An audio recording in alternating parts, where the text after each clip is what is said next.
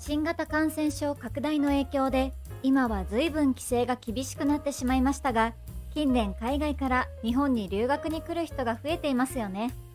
特にお隣の国韓国からの留学生は多いようなのですが留学が終わると日本にとどまらず韓国で就職する方が多いと言います。ただそんな人たちの中には日本との違いに困惑してしまうケースもあるようです。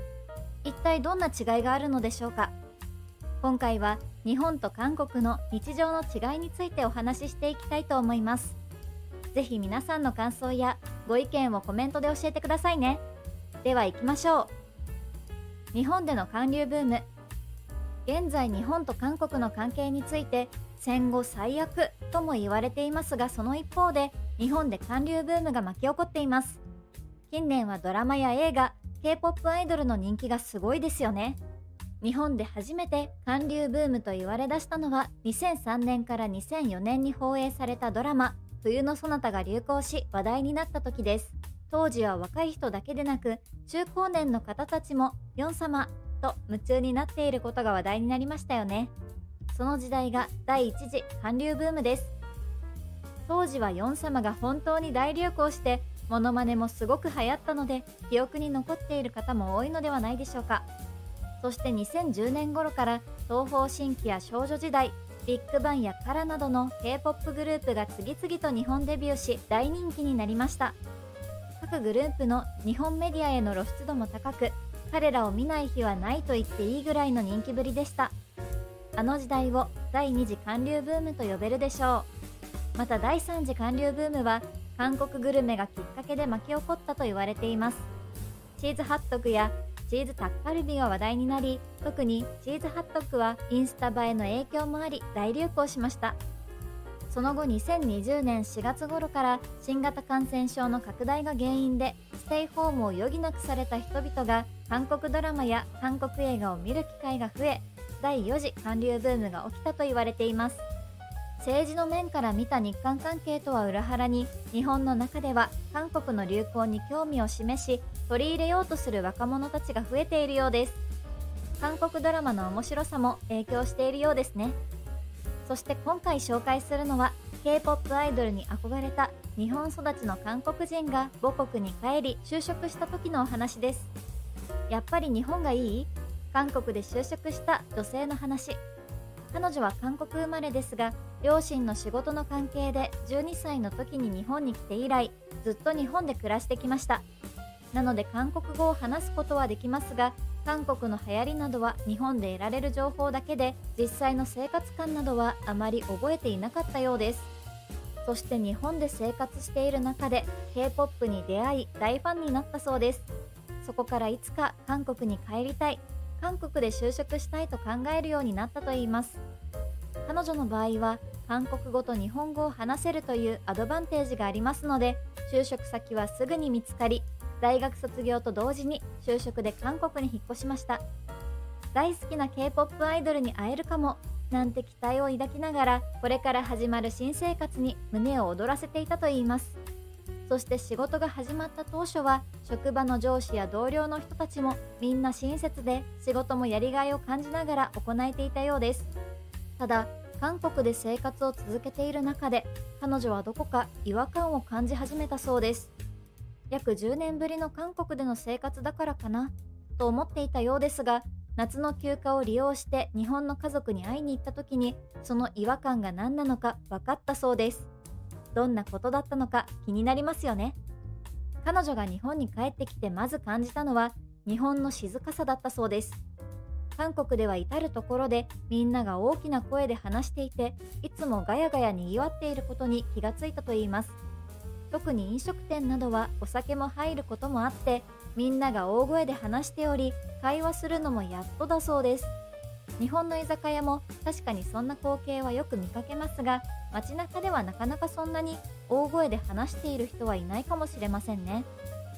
次に気がついた違和感は韓国人は日本人と比べて態度が露骨で感情がすぐに顔に出てしまうこと。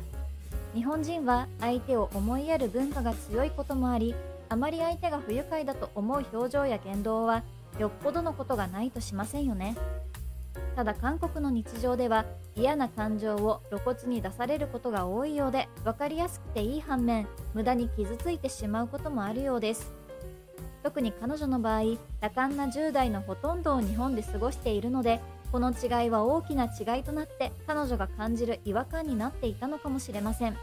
なので彼女はこのまま日本にいたい韓国に戻りたくないと感じてしまったようです。そんな彼女にも韓国に戻ってから韓国人の彼氏ができていました。彼は容姿端麗でまさに K-POP アイドルのような顔立ちだそうです。ただ彼女はこの韓国人の彼との関係にも少し戸惑いを持っているようです。韓国人は性別関係なく連絡をまめに取りたがる人が多いようで一日中連絡が来るようです。朝のおはようお昼は仕事どう？仕事が終われば家に着いたよ。寝る前にはお休みなど常に連絡を取るようです。人によってはちょっと疲れてしまいそうですよね。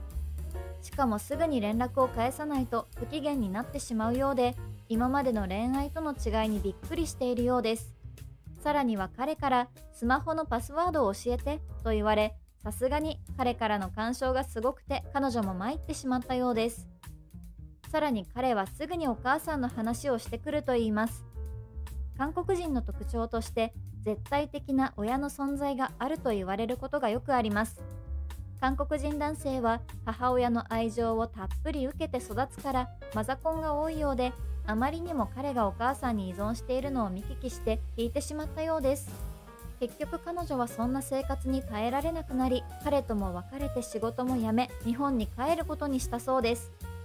そして日本に帰ってきた彼女は居心地の良さと生活のしやすさを強く感じたといいます。さらにしばらくして日本人男性と付き合うようになったそうですが激しい束縛や過剰な連絡がなくいい関係を築いているようですよ。日本にも束縛が激しい男性やマザコンな感じの人もいるでしょうが彼女が日々感じていたストレスも積み重なっていたのかもしれませんね。今回の彼女の体験談についていろんな反応が来ているので少しご紹介していきますね。韓国の反応。私も今日本で暮らしているけど日本人の男性はみんな気遣いのある人が多いと思う。私が過去に話した内容をちゃんと覚えてくれていたりするし。韓国は付き合い始めて22日記念日49日記念日100日記念日200日記念日1年記念日みたいな感じで記念日を大切にする。ちょっと多い気もするけど日本人はあまり記念日を大切にしないイメージ。どんなことがあっても日本人のことを好きになることなんて絶対にない。韓国男性はできないこともできると言って諦めないイメージ。諦めるのはかっこ悪いと思っている感じ。でも日本人男性はそんな考えはなさそうでのんびりしていると思うな。そもそも日本や日本人が嫌い。という人も多いようですが恋愛関係の面においては細かく記念日を祝ったりととても大切にしているようですね。ただちょっと記念日が多すぎてどうやってみんな覚えているの？と思ってしまいますが。ちなみに韓国では儒教の教えが影響していると言われているようで儒教では男性を中心に家計を維持してそれができるのは男性だけだとされているようです。なので家族の期待を一身に背負って生まれた男の子は宝物のように大切に育てられ特に長男は特別扱いされるそうです。その影響もあり特に男性は家族との距離が近くマザコンと呼ばれる感じになっているみたいですね。可愛い息子のためなら全てを犠牲にするという母親の考えがあり母親の愛情をたっぷり受けた息子たちは母親の意見を最も尊重し母親を大切にするという仕組みです。素晴らしい関係のようにも思えますが彼女になる人にとっては大変な部分もあるかもしれませんね。姑問題がとんでもなさそうです。ネットで話題の日本と韓国の暮らしの違い。他にも日本で数年暮らした韓国人が日本と韓国の違いを語った話が韓国の掲示板で話題になっていたのでご紹介します。その韓国人男性は日本で3年間エンジニアとして働いていたそうです。日本で暮らした経験を韓国人と日本人の公共秩序の違いについて書いてみたいと思うとネットに書き込みを始めました。まず話題に出したのは公共交通機関についてです日本の高速バスや鉄道員タクシーの運転手の職業意識は定石通りであるとしています。バス運転手は左折します右折します出発しますなど言葉をロボットのように発していたと書いていました。またバスや電車を待つ乗客に関して一列に並ぶのが当たり前とされていると日本について紹介しました。一方の韓国については日本で4年間過ごしたこともあってか韓国でバスに乗る際に「こんにちは」と運転手に挨拶をするようにしてみたがすぐにやめたと話しています。というのもバスの停車位置はいい加減で乗客も我先にと他人を押しのけてバスに乗り込む姿を見て日本にいた時のようにバスの運転手に声をかけるのが馬鹿らしくなったといいます。次に紹介されたのはレストランマナーについてです。